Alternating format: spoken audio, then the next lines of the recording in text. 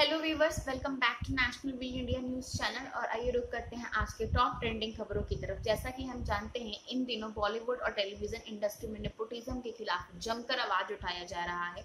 और यह सब शुरू हुआ है सुशांत सिंह राजपूत के आत्महत्या के बाद। लेकिन आज बिग बॉस सेवन फेम अदाकारा सोफिया हयात ने कुछ चौंकाने वाले खुलासे किए हैं नेपोटिज्म के बारे में, जिसको सुनकर हर कोई हैरान रह गया।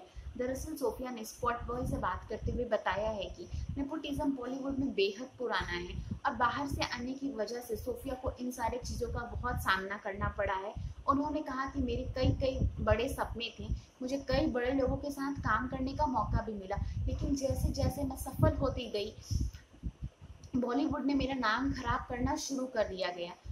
मुझे कई बड़े प्रोजेक्ट मिले, मुझे कई कॉल आते थे जिनमें मुझे कॉम्प्रोमाइज़ करने के लिए कहा जाने लगा।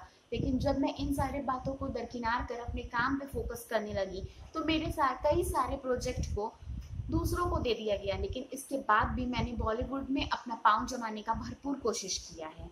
आइए रुक करते हैं हमारी दूसरे खबर की तरफ़। जैसा कि हम आपको बता चुके हैं सीरियल कसौटी ज़िंदगी के लिए मिस्टर बजाज का रिप्लेसमेंट खोजा जा रहा था और फ़िलहाल, यह सफ़र पूरा हो चुका है और मिस्टर बजाज के रोल के लिए एक्टर करण पटेल को साइन कर लिया गया है। लेकिन एकता कपूर को इसके लिए भारी कीमत चुकानी पड़ी क्योंकि करण पटेल ने एक एपिसोड को पूरे करने के लिए तीन लाख रुपए की डिमांड की है।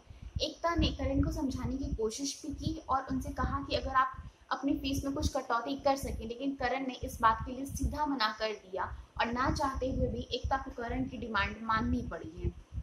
आइए रुक करते हमारी तीसरे खबर की तरफ़। कोरोना वायरस का संक्रमण फैलता ही जा रहा है। दिन प्रतिदिन लाखों तक यह संख्या पहुँच चुकी है।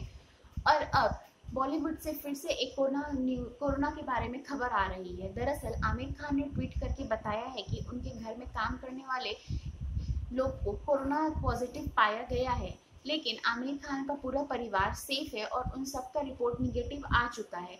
इस दौरान जो लोग कोरोना पॉजिटिव पाए गए थे, उन्हें क्वारंटाइन कर दिया गया है और एक्टर ने बीएमसी का शुक्रिया किया है कि उन्होंने तुरंत ही एक्टर का मदद करते हुए कोरोना पेशेंट्स को क्वारंटाइन कराया और तमाम मेडिकल फैसिलिटी अवेलेबल कराई। आइए रुख करते हैं हमारे आखिरी खबर की तरफ़। जैसा कि हम जानते हैं पूरे टेलीविज़न इंडस्ट्री और बॉलीवुड को एक्टर सुशांत सिंह राजपूत के आत्महत्या के बाद बहुत बड़ा सदमा पहुँचा है। इस दौरान अभिनेता के दोस्त संदीप सिंह और शिखर सुमन अब सुशांत के पिता से मिलने पटना पहुँचे थे। इस दौरान कई फ़ोटो लगातार सोशल मीडिया पर वायरल हो रही है और शेखर सुमन ने कहा है कि, मैं कुछ देर तक सुशांत के परिवार वालों के साथ बैठा था, लेकिन हमने एक शब्द भी नहीं कहा। हम बस बैठ के एक दूसरे से मौन के रूप में दुख व्यक्त कर रहे थे। मेरे हिसाब से दुख व्यक्त करने का सबसे अच्छा तरीका होता है मौन। बता दें कि शिखर सुमन ने सुशांत सिंह राजपूत के आत्महत्या में सीबीआई सीबीआई जाँच की मांग की है और उन्होंने सुशांत को न्याय दिलाने के लिए justice for Sushant Singh forum भी चल, अभियान भी चलाया है। इस दौरान सुशांत के कई फैंस इस हैशटैग का उपयोग करके सीबीआई जाँच का डिमांड कर रहे हैं। बॉलीवुड और टेलीविज़न से अपडेट रहने के लिए हमारे चैनल को सब्सक्राइब करना ना भूलें।